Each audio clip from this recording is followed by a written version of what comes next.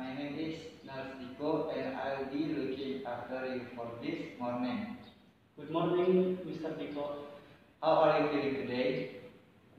Oh, yes, I'm fine. Yes, are you okay? Do you need me to call the doctor?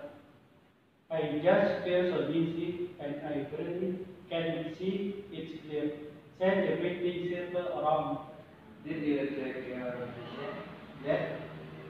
Not yet. I just finished eating.